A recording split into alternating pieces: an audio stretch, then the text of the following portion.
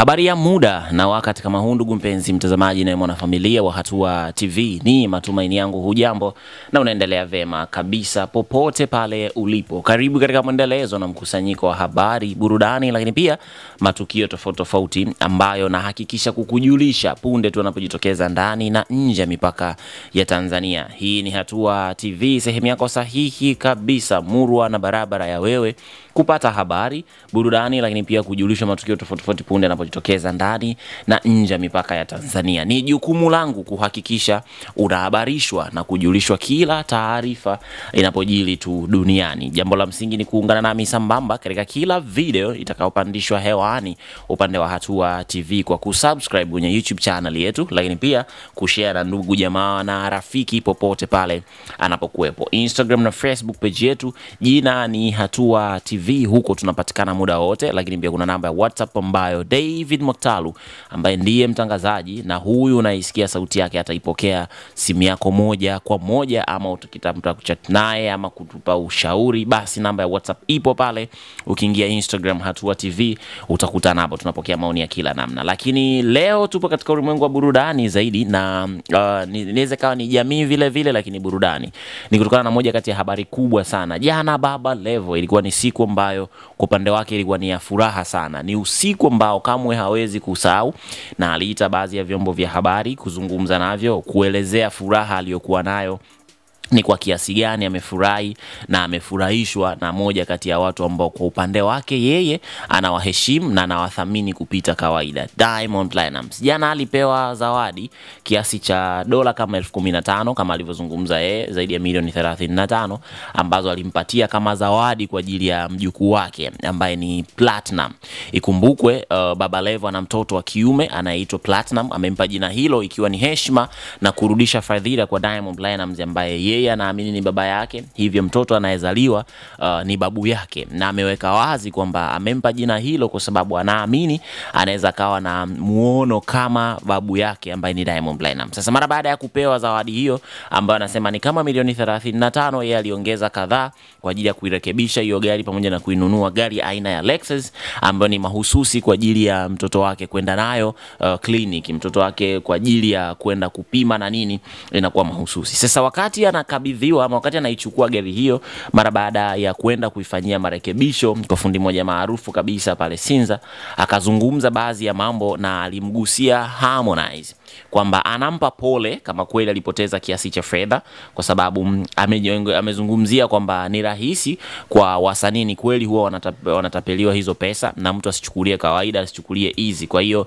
anatoa pole kwa Harmonize, lakini kwa Diamond Platnumz ni kweli amepoteza bilioni nne, lakini mbali na kupoteza pesa hiyo bado ameenda kutoa zawadi, ndo ujue ni kwa kiasi gani mtu huyu ana moyo. Hayo ni maneno ya Baba Levo, lakini pia akatoa onyo kwa baadhi ya watu ambao wanaongea upuuzi upuuzi, huku akiamini pia kwamba yawezekana kwa namna moja ama nyingine Harmonize alikuwa anatafuta attention uh, kuzungumza kwamba amepoteza bilioni saba uh, sawa na alivyopoteza Diamond Platnumz, na ni swali ambalo alilijibu uh, mara baada ya kuulizwa na waandishi wa habari. Shout out kwa wana ambao walimbana na kutaka kujua Baba Levo yeye ana msimamo gani. Msikilize hapa Baba Levo, alafu tutakuja kujadili kauli zake. Ni kauli ambazo amezitoa bila kupepesa macho na ameamua kufunguka, kwa sababu tunamfahamu Baba Levo ni mzee wa kukiwasha na kuliamsha. Msikie hapa Baba Levo, alafu tutakuja hapa uh, kuzungumza kile alichokizungumzia hapa. Kenya amesema na yeye kapoteza bilioni nne na li- bilioni saba yes, na alikuwa na lengo la kufungua media,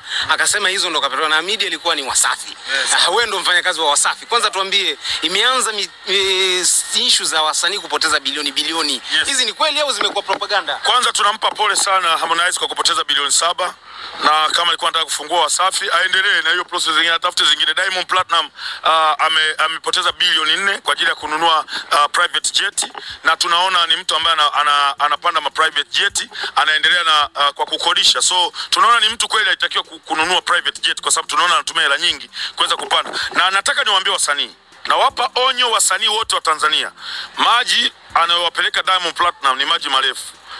Kuweni makini, maji haya ya kukodisha private jet uh, kwa mwezi unakodisha mara mbili mara tatu, unalipa zaidi ya milioni mia na kitu. Ukiyafata bwana Harmonize utafilisika, ukiyafata Vivian Boy utafilisika, ukiyafata Mario utafilisika. Huyu mtu Mungu ashamjalia, ashampa riziki kubwa, mnabidi mumrespect ili mwisho wa siku myapate matunda kutoka kwake, au sio bwana? Leo hii unamwona Diamond Platinum amepoteza bilioni nne, lakini bado anaweza kunipa mimi hela mambo makubwa. Amechukua tuzo mbili, amechukua tuzo ya msanii bora Afrika Mashariki, amechukua tuzo ya msanii bora Afrika mbele ya Asake, mbele ya Banaboy. Mnajifanya kama msemi, mnaenda kuzungumza mambo ya bilioni saba za uongo. Waongo wakubwa, msinichafulie, msinichafulie na nili yangu wewe.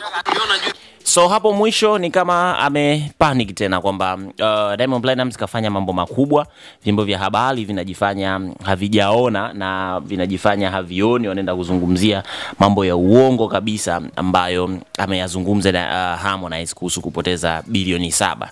Uh, siwezi kwenda mbali sana na Baba Levo, lakini nadhani nilikujulisha hapa kwamba kila alichokizungumza Harmonize maybe ilikuwa ni kama kumjibu Diamond Platnumz, lakini pia uh, kudeclare kwamba kwamba ni kama kum, kumkashifu hivi ama kumtania. La, kwa ujumla bado ni business. Kila mmoja anafanya biashara yake kwa namna ambayo anaamini inaweza ikaenda kirahisi zaidi mjini, lakini huu upotezaji wa hizi pesa sidhani kama ni rahisi sana mtu kupoteza kiasi kikubwa cha fedha kama hivyo na bado ukatulia. Si hilo tu, kingine ambacho amekizungumza hapa Baba Levo ambacho ni cha ukweli, uh, haijarishi unapenda kukisikia au hautokipenda, lakini huo ni uhalisia na ni ukweli kabisa.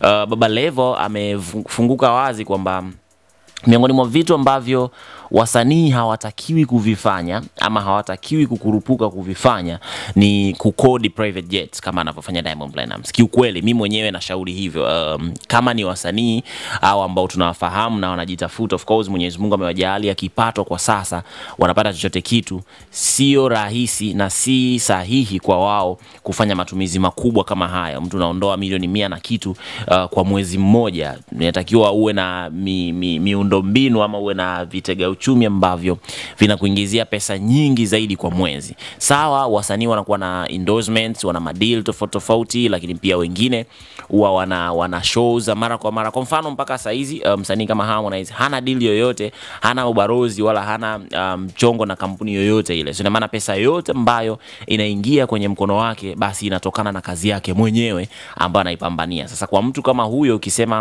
uh, upite na hizi uh, upepo wa hizi private jets kwamba kila ukikodi uposti ama na wewe ukodi utembe nayo, sidhani kama inaweza kani maamuzi sahihi kama alivyozungumza Baba Levo. Lakini kingine uh, kwamba Diamond Platnumz amechukua tuzo mbili kubwa ndani ya huu mwaka na watu hawazungumzi, sina hakika kama ni Baba Levo atakuwa sahihi sana. Vyombo vya habari vimepaza sauti na vimempongeza, wengi sana wamempongeza Diamond Platnumz kwa hatua hiyo kubwa uh, aliyoifikia, lakini pia namna ambavyo amewakilisha nchi.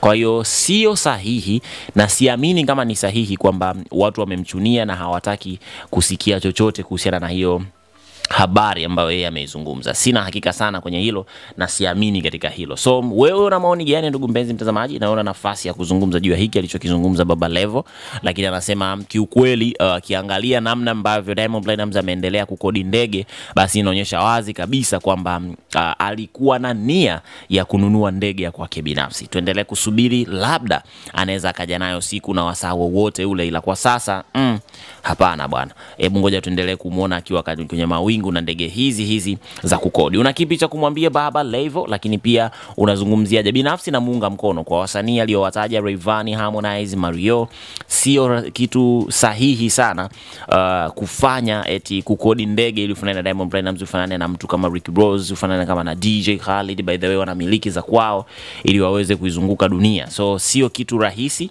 na si kitu kizuri kufuata mkumbo huo, kwa sababu uh, jamii bado inawahitaji na bahati mbaya sana ukipita kwenye viwango hivyo vya matumizi, ndo inafikia hatua mtu unakuwa na um, misongo ya mawazo, inafikia hatua mtu unakosa namna ya kujitetea mwenyewe, kwa sababu utaamini dunia ni kama imekutenga mara baada ya kufirisika. Na bahati mbaya sana, bahati mbaya mno, uh, wasanii wetu wameshazoea kusikika wasanii wetu tayari wameshakuwa na majina, hivyo kurudi huku tena chini kwenye kupambana na kujitafuta upya inakuwa ngumu sana, na ndio maana wanaangukia kwenye matumizi hata ya madawa ya kulevya, kwa sababu ubongo unakuwa na vitu vingi sana kwa wakati huo. Maoni yako ni muhimu kama nilivyokujulisha, na ni sahihi sana, so tuandikie kwenye ulimwengu wa comment hapo chini, na mimi nitajitahidi kuyajibu moja kwa moja. Maoni, ushauri tunayapokea Instagram, Facebook pamoja na WhatsApp kwa namba ambayo nimekuwekea hapo uh, Instagram kwa jina la Hatua TV. Hatua TV with you everywhere.